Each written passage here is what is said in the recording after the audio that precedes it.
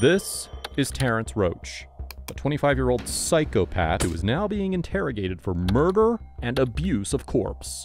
His victim? An innocent teen in a wheelchair.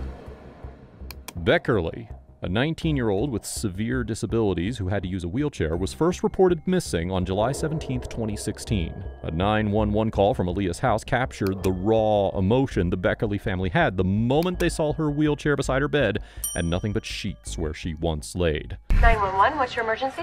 They came in my house and took my disabled daughter. She Okay. needed a wheelchair. She got nervous and seizures. The search for Aleah started. For eight months, many wondered where Aleah was. On March 27, 2017, Evansville police said a decomposed body was discovered inside a vacant home on South Bedford Avenue. It was identified as Aleah Beckerle. Then, two days after the body was identified, Terence Roach was arrested in connection with the case. The house on South Bedford Avenue, where the remains were discovered, was right next door to the house where Terence Roach stayed. He was then quickly taken for an intense interrogation by the police. Let's see how the Evansville detectives will corner him into a confession. like I was saying, I was a little confused the other day um, on uh, the window. Uh, I want to make sure I know what window you're talking about, okay? Because obviously, crime scene did a lot of work on it. Th- This is the front of the house. Um, of course, the, this is the alley pictures. Um, is this the area that you parked in the back? Now the gate's open. Do you remember? Is this the area that you parked in the back here now? Or this is the front of the house. Do you think you parked out front or you think you parked in the back? This is just looking down down the alley in one direction. Here's a better shot of this is the fence and it's kind of grew up in the back, I know. Kind of hard to see it all at one time here, but. uh, These are all shots of the back here. See, there's a better shot of it right there. Back of the alley. Obviously, I know it's nighttime when you were parked there, so it looks different, but. Is that the alley you remember parking in? This would be the, this would be the, like, right here's her house. Right here is Aleah's house, you know. This is the, and then this would be looking the other direction. Um, This would be like, uh, this would be the one way going this way. yeah, that's, and that's Governor going south. And that look familiar to you? Well, there's the front of the house. You think he parked in the front of the house? Okay, moving down. Probably just look different to you? Okay. Well, here is the back of the house. When Roach eventually responds to the officer, you must strain to hear him, since it almost seems as though he has entirely given up. Roach appears nearly mute. No, I'm saying, but you remember that's her house? Okay, that's all I'm asking. Now, this is, uh, this is the, this is the back windows. Um, I think one time you said, when I talked to you, it was the back window, but then you said it was Aleah's bedroom window.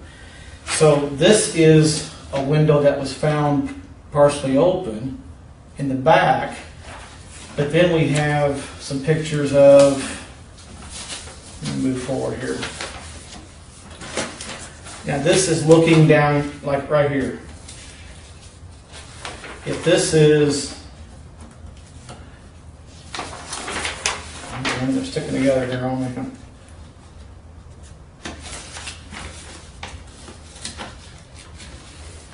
This is the side, this is look- looking down the side of the house, this is like, if I'm standing right here with my camera, looking down the side of the house right here, this is the, the angle, I'm- this is the view I'm looking at. Now, you see there's a window right there that goes into her bedroom? Is that by chance the window you went in? I ain't going You didn't go in it. Okay, what do you mean you didn't go in it? there. You just reached through the window? Well, you, I mean, this is pretty high, you would have had to crawl through at some point. Look, look, look, okay, then, then while we're on that, this is the window, so that window is right there. That's her bed. Now, obviously, you'd have to reach pretty far. Tell me again how you did that, because this is what we need to clarify. Okay? Tell me for sure how you how you took her off that bed without completely getting in through that window.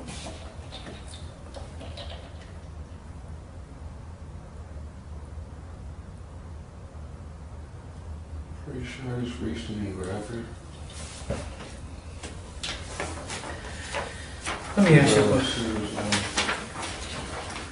um, close right here in the toy box is right there. Well, there, there's a toy box right there. Yeah, you're right.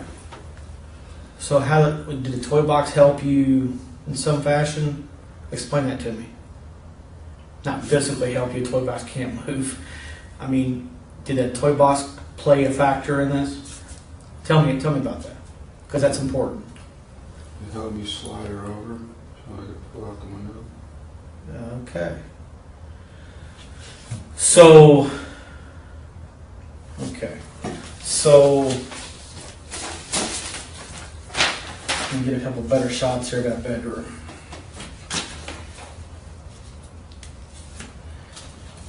Hang on one second. Let me get a better shot, okay? So this shot right here, for example. Or maybe that shot there. That's a little better. So that's moving over. That's moving over, farther over. So see how that lid is kind of cockeyed? How it's kind of tilted? Is that what you, you think that was done by you pulling her through that window on top of this? Is that what you're saying? I don't know if it was like that afterwards. Well, this is what this was the morning of. This was the morning that her mother realized that she's gone. This is this dark crime scene technician taking pictures the morning after she was missing. So this was probably within a few hours of you taking her from the home. Okay. So see how these curtains, these blinds are messed up. Did you just push the blinds open with one hand, and you're saying you reached across the bed and drug her? Is that what you did? Show me, show me exactly. And then you, but you, you showed me yesterday about how you lifted her. Um, don't you stand up for me and tell me again how you show me how you drug her across and then what you did from there. Like this is the bed right here. That's the toy box you're sitting on. Okay, tell me, show me how you how you how you did what you did. I reached in and pulled. Okay. So you pulled her through the window. Yeah. Okay. Do you remember this? You remember that growth, that high? It's probably a start of a tree or some type of growth. I don't know what that is. But did you remember going past that or anything? You got her over this fence by yourself? Did you remember anything breaking on this fence? I think that was already broke. You didn't break that off. It looks fresh to me, like like maybe you cracked it off or something. I think it was already broke, I'm not for sure. But you got her over this fence. Is that what you're saying? All right, Terence, I want to ask you a question, okay? The- The story is somewhat believable, okay? It is. And if that's the truth, I appreciate it. But I want to make sure, I know Detective Hands here, we're worried about something, okay? We're really worried about something. Um, and we don't want this to come to light later. You realize that your younger daughter, or your, sorry, your younger sister, uh, Carly, she's 13, going to be, or just turned 14. She's a juvenile, okay? So she's protected by law, all right? I want to make sure, did, did Carly help you remove Aleah from the house? And you promised me that. Now you, I told you the other day, Terence. I know you apologized to Lion for me the first time. You know, before we got to the whole truth. I mean, you told me a majority of the truth, but you didn't tell me the whole truth. Uh, you didn't tell me the part about her be actually being alive when she left the house. Okay, and you apologized for that, and I commend you for that, Terence. I, it's tough on everybody. It really is. This is, this is you know. But I commend you for being honest with me, and you told me everything about the sex with Aleah when she was dead upstairs, and you told me about all that stuff. The duct, the duct tape, you were honest about that. So we, so we commend you for all of that. So now there's no reason for you not to tell the truth on any. Even if Roach hasn't been totally obvious so far, the ease with which the story transpired is horrifying. It's unsettling to consider that someone might simply reach through a window and kidnap someone without even having to enter the house. no, another, another friend, there's nobody else with you. If you were asked to place your hand on the Bible, on the stand, next to that judge, like you said today, that's an oath to tell the truth and all but the truth. And they ask you the same question. You, you would say the same answer. There's nobody helped you remove Aleah from the residence. Why, why would I have to testify? I'm using this as an example. No, you may not have to testify. That's not what I'm saying. Forget, I'm saying that if you were asked to tell the truth in front of a judge, if you were asked to put your hand on the Bible, which is to send a lie on that Bible, what I'm asking you is, would you still say the same thing that no one helped you remove a Aleah? Yes. Okay. The detective emphasized the point in the serious room. A judge is asking with a Bible in hand. Imagine that. Would you vouch that you acted alone today, too? As the response repeated, Yes, just the same, the tension increased. Meant to me uh, that you had had sexual relations with Kara on a previous occasion uh, when you were under the influence and things. Uh, is that still the truth? You you had sex with Kara? Okay. How many times did you actually have sex with Kara? Just one time. Now, obviously, like I told you, about a month before this happened, she had a surgery in Annapolis. So You didn't know that. well, I, I know you don't. You weren't involved, but it's about about the time period shortly after the time that your dad was arrested for the shooting incident. Okay, and I think I asked you before. I want to make sure you had sex with Kara before the incident when your dad was arrested for the shooting, or after? Before. Before. Okay, all right. And you just had sex with her one time, and it was involving drugs and Alcohol. alcohol. Okay. So there's no reason you're telling me, telling us the whole truth on everything else. You'd be honest about that. You promise. You okay? All right. Well, already over. I'm not gonna be able to get out of jail anymore. Well, and you're. I mean, right now the only thing you can do is be honest, right?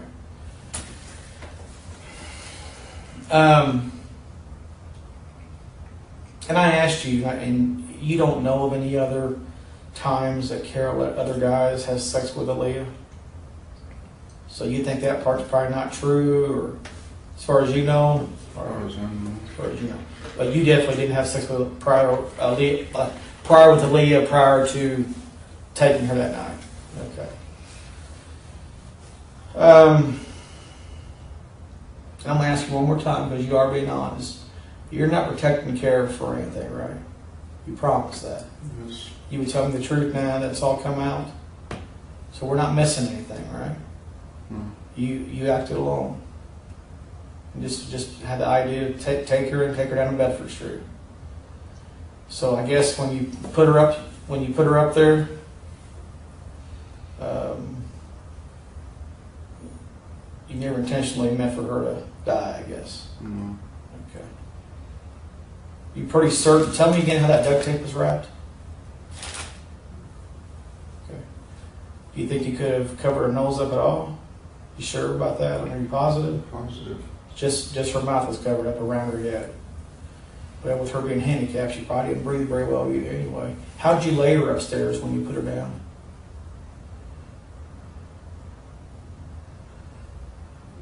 Uh, I really don't remember. Well, when you had your, when you had sex with with with Aleah upstairs, was she on her back? You didn't do any other positions with her. Is that right? Hate to be gross, I hate to be blunt, but I have to ask that question. When you had sex with her, you were on top of her, and she was on her back. You didn't put her on her knees or anything, and do anything else with her. Okay. okay. hey, go ahead and eat, man. I'm sorry.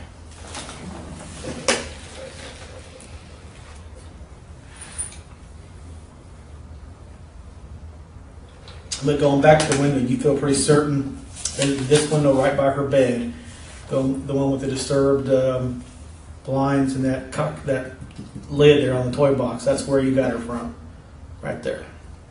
Okay.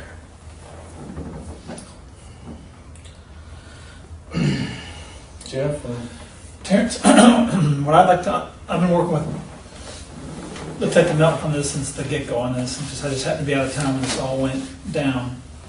I came in early this morning and watched your thing from the other day, and I read some of the stuff about everything, and I just kind of like to go over a, a timeline, because I've been privy to some information that after Kara found out that you were in custody and she was talking to your dad, have you known Kara longer than your dad? Mm, I'm not sure who knew each other longer. Okay. How did you originally meet Kara? Um, she babysit me, I guess, one day of Jamie.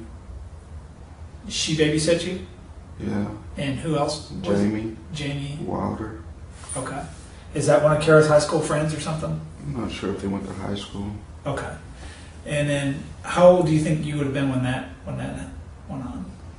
Um, I don't know. I know it's when she lived in Bradford Point. Okay. All right. That helps. That helps. Um, and so she would come over. You would go over there, and she would watch you after school, or It wasn't like always. It was like a couple times a couple times. Okay. with Jamie. And then you start getting older, and after Kara moves from Bradford Point, where do you know where she moved to then? Is that when she bought the house on Iowa? Do you know? Or? Um, time I saw her, her and my dad were together. Okay. So when when was the last time you you saw Kara and talked to her? Mm, whatever day it was, I went over there. My dad got locked up for shooting at the house. Okay, so after that you went over there? Okay. Um, that was on the 23rd of May of 2016 is when that is when that happened. We'll kind of do a little timeline here for you. It appears that the abuse was continuous in this case, as it has been in so many others where a victim is raped by a family member or close friend. This happens when a predator finds an easy target like Aleah. Pretty much my day involved me smoking a lot of K2. Can you can you tell me one more time? Pretty much my days involved me smoking a lot of K2. Okay. And So you smoke K two the entire day, and okay, go ahead. And it just popped in my head to go do what I did. Where were you at smoking the K two? Tim's, I think, but The one on Blackford, yeah. I think I was sitting on my truck though. and that's that little red Dodge you had on her. Big wheel. It just popped in my head and I just did. They took her. Okay.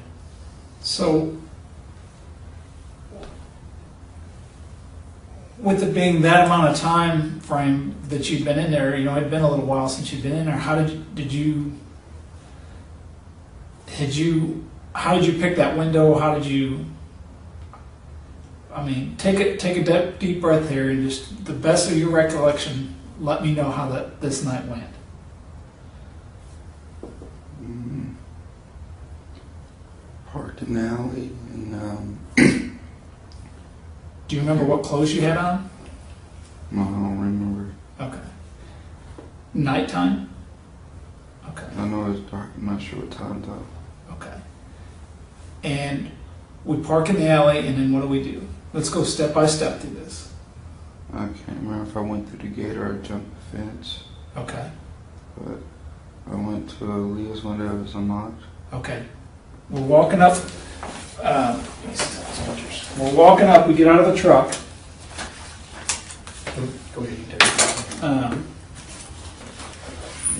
okay, so this would be the alley. Do you remember if you came down and turned in this way? You, I, I think in your other statement you said you backed into the alley. No, I'm Oh. talking about one. Um, um, uh, Bedford. Oh, okay. Okay. Oh, you back? That's right. You back in the alley over on Bedford. Okay. Yeah. Okay, that, that's one thing that we just wanted to clear up. So here we go. So you think you either, you can't remember if you went through the gate or you jumped the fence? Did you look in any of the other windows to see if they were, could you look in any other windows to see if, make sure they were asleep? Do you remember the TV being on? Mm, Just take a deep breath and just the, the best you can remember how this, how this went. something was on. I don't know if it was TV or like a light or something. Okay. And you know how the layout of the house is here.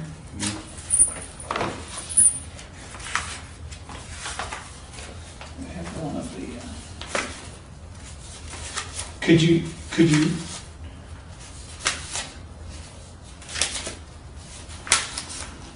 Well, you- uh, the one with the couch?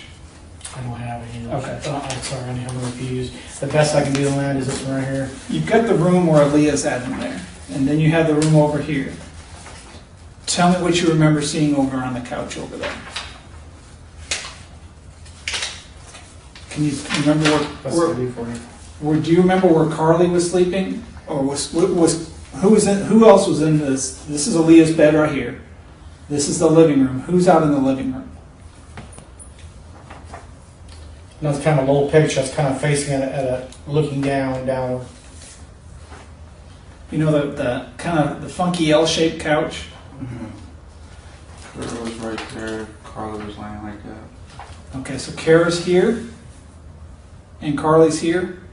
Okay, and what are they doing? Carla's asleep. Like Kara was just laying there, sitting up. I don't know. She was waking up. Okay, what? And what do you mean? Just how? You said Carly's sleeping and she's sitting up. How? How do you or what? What do you remember of that? Did she make any contact with you or anything? Okay, and where's Roscoe at? I didn't see him in there. Okay. You remember going over the fence? Is that is that true? You do remember going over the fence? Okay. Is this the window you went to? Do you think, or was it the window on the other side? That one. Okay. That's the window that's right by her bed. That's the one you think you went through? Okay. You remember sliding up the screen? It looks like in that picture that there, it's a little bit of a gap, like it's been pushed up a little bit. Okay, all right. So. Is it,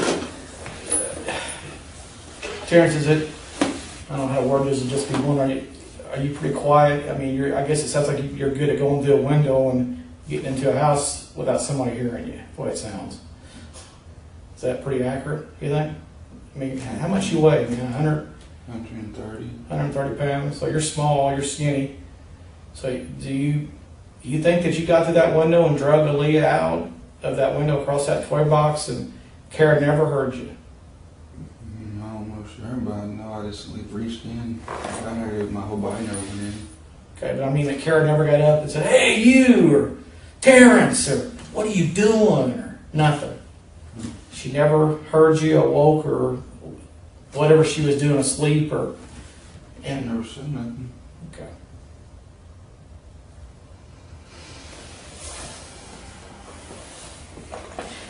Can we talk about something else while we're, and Jeff, you think anybody else can talk about it in a second, but this, there was a report, um, on file. um, This Maya, Maya, Maya Deisher, De- how you pronounce it? Deisher, Deisher? Dicer. Daisher, that's, that's Glenn Eastwood's new girlfriend, right? I guess. I know it's his son's baby mama. Okay, okay. Girlfriend, I'm- they're not married, right? Now, there's an incident where you, she caught you in her house. Right? And there's no reason not being honest now, right? Now, you were able to get into this woman's house about, uh, four thirty so in the morning. I don't think it was no 430. Well, she, I, you know what? She said there were two incidents. Uh, She said she yelled at you. I you. think it was three. Well, in the morning. Okay, three thirty. I don't remember the exact time. I don't have my glasses. Hang on a minute. I think she reported about four thirty. Okay, so it was the middle of the night. So you were able to get into this woman's home without her hearing you. And she said that she awoke and you didn't know she was on the couch. You were looking in her bedroom, and uh, she saw you crouching down in her hallway, looking in her bedroom. Not crouched down. Well, you were in her in her in her hallway. You had some type of something in your hand, a wooden club or something. I was carrying a stick. Stick. How'd you get in her house without her hearing you? Her bathroom window was open. Bathroom window was open.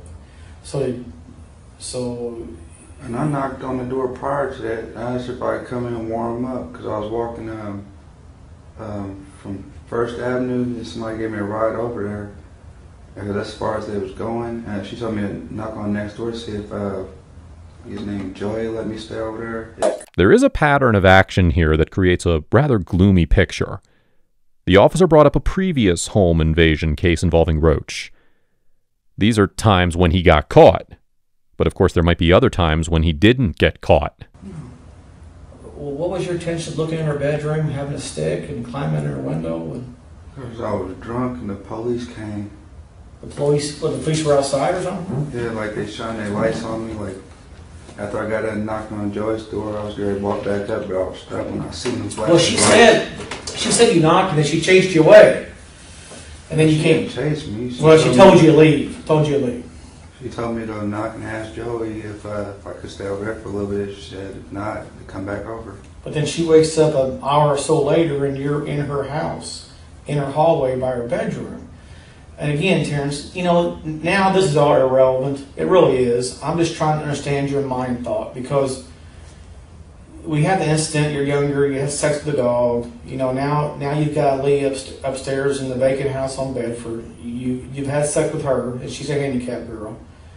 Um, do you have a sexual drive that you can't control. I mean, you know, now you're in another woman's home here in January, in her hallway by her bedroom, with a stick in your hand. You know, what was your? I mean, you're obviously under the influence, so it sounds like sounds like your sexual desire increases when you're under the influence. Were you going to have sex with this girl too? Mhm. Okay, all right.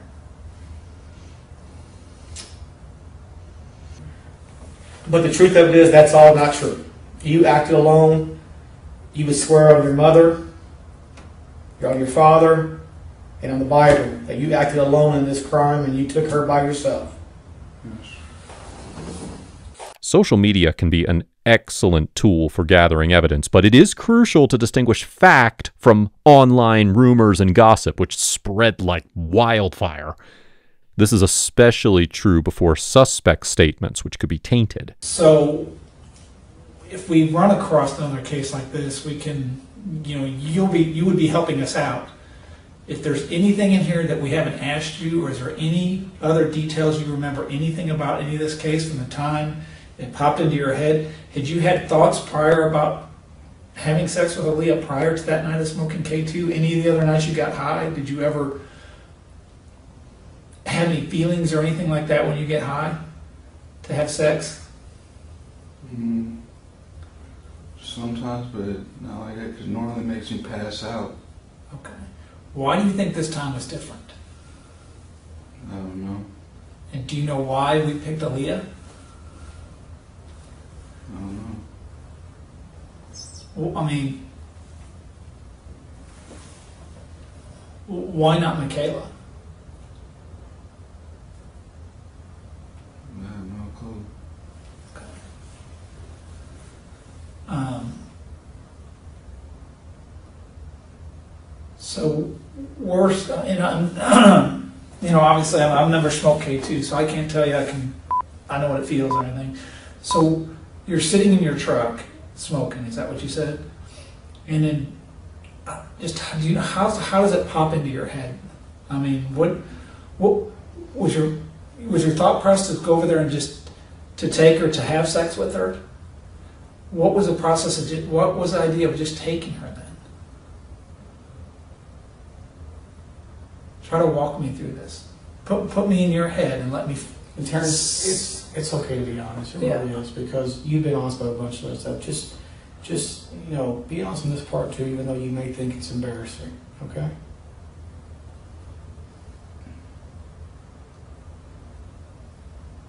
I just wanted to take her for like a few days just to get back at her because I thought she set my dad up. You wanted to get back at Kara because she set your dad up. I thought she did. on the sh- on the shooting part. What what is your re- what is your understanding of the sh- of the shots fired?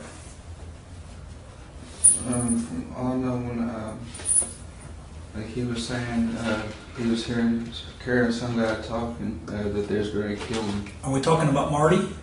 I don't know. Are we I just talking? know when he hurt his leg for jumping out the window. Okay. Um, when your dad was out prior to the shooting happening, how often did you talk and see your dad? Um, whenever I was able to stay up late enough after I got off Miracle, And would you go by and see him after work, uh, he would be riding around with my mom. Riding around with your mom? And you would go, she would drop you off over there, or? No, they used to be riding around. A couple times I drove him. Okay. Did you? I know your dad. I mean, it's, I mean, I've had conversations with your dad. I mean, he's. I've got to know your dad during this this whole incident. Um, and so Brent Brent went up and talked to your dad the day this one ha- this happened. Yeah, I did. Um, so, um, did your dad talk to you about Kara's boyfriend that he had moved in, or that she had moved in, or any of that other stuff? Did you know about all the drama that was going on there with her ex-boyfriend, the white guy, Marty? I didn't know the dude's name.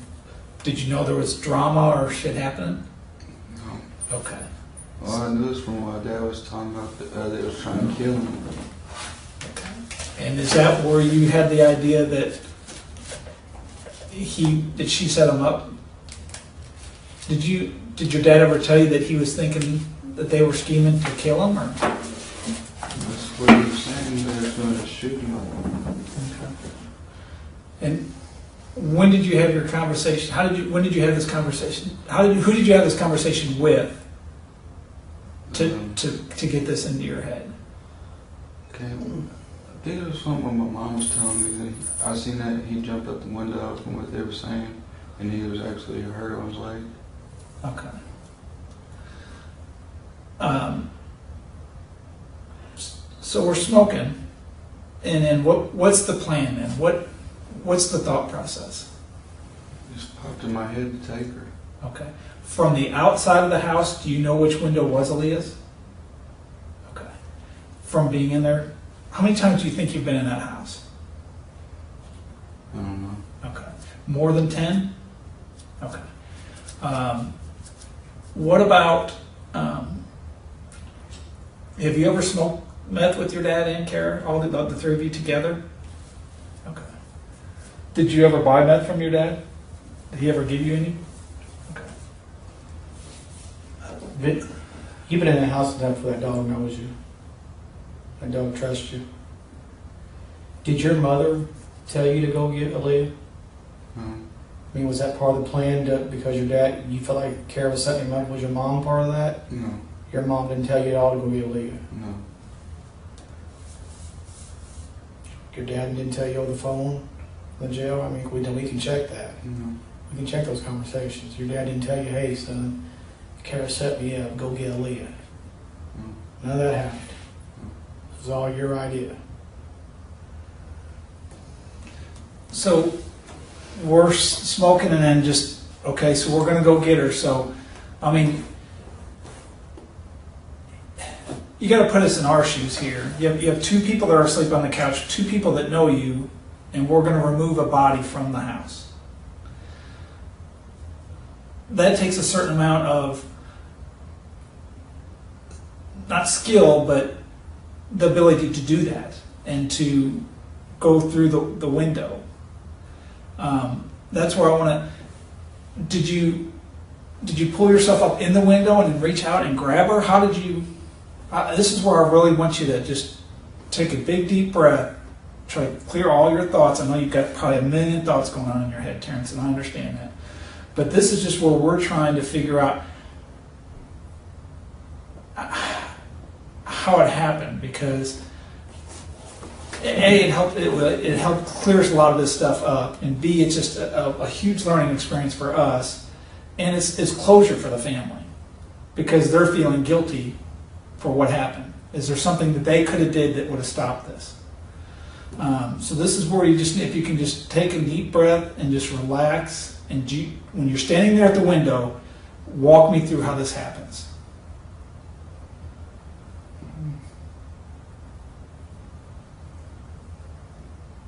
Dad over the phone, in the jail, that you had her up there. No. And you never told Glenn next door, your stepdad, Glenn Eastwood, that you had her over there? No, I didn't tell nobody. Didn't tell anybody at all? Is is Kara Yesterday was my first time talking about it. is is Kara eh, is her any of her phone numbers in your memory on your phone? Do you have any of her phone numbers? That's, that's a good point. I'm sorry to cut you off, but you said to me Friday, now you, you had two phones. There was a cheaper one, like, like a flip phone that was kind of cracked That or, was my dad's old phone. Yeah. Before he got locked up. okay. And then you had the yellow and black phone that you said was the Wi-Fi only phone. Okay. The one that you s- you said was your dad's phone. You're talking about DeMarco Roach, right? Your real dad. Yeah. Now he gave you that phone, or My mom did. your mom, meaning Dawn, gave it Yeah. Did you get that phone from him prior to him getting arrested on June 16th or after that? I know it was my mom just let me start using it, and he was locked up. Do you do you know how she got it? I imagine he gave it to her. Okay. To ensure they gather all available evidence, the authorities must be meticulous in determining how many phones a person has and whether there were any changes during the timeline of the crime. People usually change cell phones with varying frequencies and service providers. Do you sometimes feel that you can't fulfill your sexual needs, or or just haven't found the right woman, or what? I mean, just I mean, everybody's got their own thing, you know. I mean, that's what makes the world goes around. That's why we have shops on Greenwood Road to sell sex toys and all the other stuff. I mean, and there, there's porn, there's all I mean everything. I mean, so what? How do you describe your sexual life? Like, what do you want me to say about it? Is it frustrating? I guess it's okay. You're always trying to chase a, a better high or a better what's getting high after the sex? Well, I mean, like a, a better orgasm or a better. I mean, if you you just got to look at it from our perspective, the incident with the, the dog, and then the incident with Aleah and stuff. Is there is there anything you're missing or leaving out that we need to know about, or anything that any other incidents that we need to know about? Just be honest, Terence. You've been honest so far. I'm proud of you. Roach isn't really able to explain his sexual desires very well, and he also doesn't seem to regard them as abnormal, so both detectives find it really difficult to understand the situation. What was your what was your plan if she hadn't passed away I was gonna let her worry long enough, and I was gonna drop her back off at the house, and like in the night, or when would you when would you do that? at night. I was gonna kick open the door and just leave. Like a way to just try to scare the mom. So you never had intentions of like in turning Ali into like a sex slave or something. The sex was an afterthought. This whole idea was a plan just to give Kara a little payback for the, the the deal with her previous month when your dad the shooting deal. Did you did your dad and your mom still? And I mean, this is totally normal nowadays, uh, or any time. Did your mom, your mom and dad, how? What is their relationship? Is it cool? Do they get along? My dad, Yes. Your He's dad talking about Dawn, right? He's talking about Dawn. Dawn. And Dawn and, and, and your dad DeMarco, not Kara DeMarco, but your real mom, Dawn and um, they're still friends. Do you think? I mean, I know this. You probably don't want to talk about this since it's your parents, but do you think they still messed around behind Kara's back? I. Okay. at the jail, there's other inmates that are violent and angry and stuff because it's got so much attention. So uh, I- the higher ups decided to keep him in an isolation cell for a while, so he's not in danger from anybody else. So I just didn't want you to think that they were trying to punish him or something by keeping him isolated, but that's for his own protection for right now, okay? Okay? All right. Just to finish up with her and. Uh, where, where did leave off that? But, um, I got court. Oh, yeah, this is, I go to court uh, Wednesday at 10, the 5th at 10. Leon got court Tuesday. Although his mother wasn't exaggerating when she warned that other convicts would try to kill him, Roach and his mother both appear disappointed that he has been put on suicide watch. However, it is the safest location for him. When Roach was tried in May of 2018 on three counts of murder, burglary, and kidnapping, the jury ruled him not guilty. Terence Roach, however, was given a 17 year prison term on June 27, 2018, after the jury found him guilty on the charges of criminal confinement and mistreatment of a corpse. Thanks for joining us for these chilling true crime stories. If you're intrigued, don't forget to like, share, and subscribe for more gripping content. Stay tuned and hit that notification bell to stay updated.